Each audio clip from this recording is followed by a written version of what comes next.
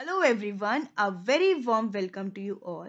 In this video, we are going to discuss about the Global Depository Receipts that is GDR, its meaning and its features.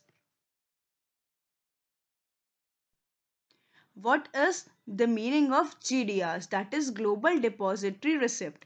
अगर कोई Indian company foreign में shares issue करती है ताकि foreigners उस Indian company में invest कर सके तो इसके लिए कंपनी को जो इशू करती है वो होते हैं जीडीआरस तो जीडीआरस एक नेगोशिएबल इंस्ट्रूमेंट होते हैं, जो लोकल स्टॉक एक्सचेंजेस में ट्रेड किए जा सकते हैं।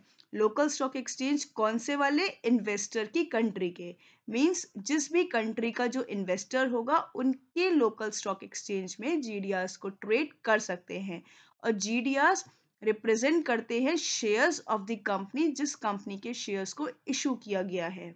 तो जो इन्वेस्टर्स होते हैं, उनको शेयर्स नहीं मिलते हैं, उनको मिलते हैं GDR which represents the shares in a foreign company foreign company क्योंकि फॉरेन कंपनी इसलिए कहा गया है क्योंकि फॉरेनर्स के लिए इंडियन कंपनी एक फॉरेन कंपनी मानी जाएगी। Now the process like like, अब जीडीआर किस तरह से इशू किए जाते हैं? सपोज़ एक इंडियन कंपनी है और कुछ फॉरेन इन्वेस्टर्स हैं जो इस इंडियन कंपनी में इन्वेस्ट करना चाहते हैं और इंडियन कंपनी फंड्स रेज करना चाहती है ओवरसीज अब जीडीआर किस तरह से इशू किए जाते हैं?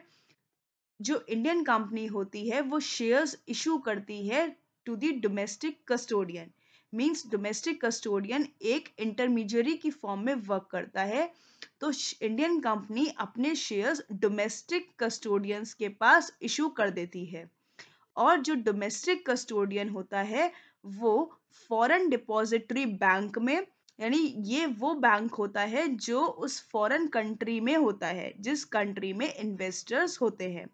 तो इस फॉरेन डिपॉजिटरी बैंक को इन्फॉर्म करता है कि डोमेस्टिक कस्टोडियन के पास जो शेयर्स थे, वो आ चुके हैं।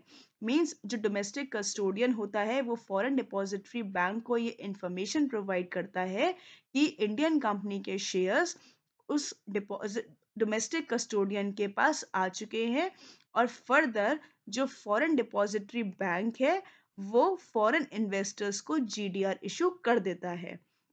तो अगर कोई फॉरेन इन्वेस्टर्स इंडियन कंपनी के शेयर्स को परचेज करना चाहते हैं तो वो डायरेक्टली नहीं कर सकते हैं। उनके बीच में आती हैं दो intermediaries that is domestic custodian and the foreign depository bank जो डोमेस्टिक कस्टोडियन होती है, वो फॉरेन डिपॉजिटरी बैंक की एज एन एजेंट वर्क करती है।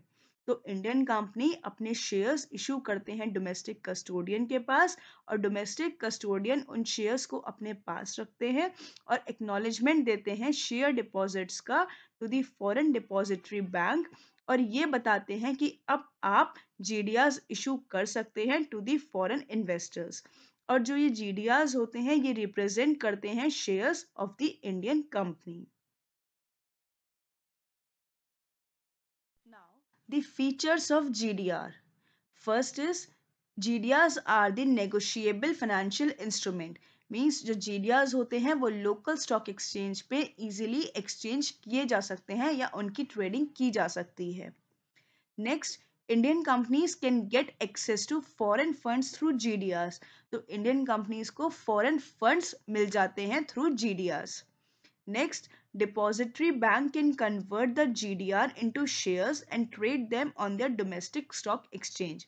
तो जो डिपॉजिटरी बैंक होता है, वो जी को शेयर्स में कन्वर्ट करवा के डोमेस्टिक स्टॉक एक्सचेंज में ट्रेड कर सकता है नेक्स्ट जो रिसीप्ट होती हैं, जो फॉरेन करेंसी डिनोमिनेटेड इंस्ट्रूमेंट्स होती हैं and however the shares are denominated in the local currency of the deposit receipt issuer means जो कंपनी शेयर्स इशू करती है, वो उस कंपनी की कंट्री की उसमें करेंसी होती है, उस करेंसी को डिनोमिनेट करती है एंड जो जी होते हैं, वो फॉरेन करेंसी में डिनोमिनेटेड होते हैं।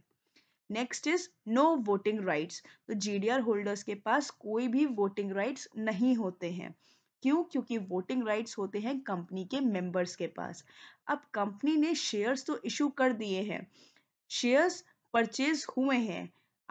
क्या कंपनी ने शेयर्स इशू किए हैं? आंसर इज़ यस क्या शेयर्स परचेज हुए हैं? आंसर इज़ यस बट क्या शेयर्स उन इन्वेस्टर्स को मिलते हैं? आंसर इज़ नो क्योंकि उनको मिलते हैं जीडीआस और जीडीआस क्योंकि एक, सिर्फ़ एक इंस्ट्रूमेंट है वो उनको शेयर्स नहीं मिले हैं एक्चुअल शेयर्स उनके पास नहीं होते हैं इसीलिए उन इन्वेस्टर्स का नाम कंपनी के रजिस्टर ऑफ़ मेंबर्स में मेंशन नहीं किया जाता है, और इसीलिए जो जीडीआर होल्डर्स होते हैं, वो कंपनी के मेंबर्स नहीं माने जाते हैं, और इसीलिए उनके पास कोई भी वोटिंग राइट नहीं होता है Thank you so much. Stay connected for further videos.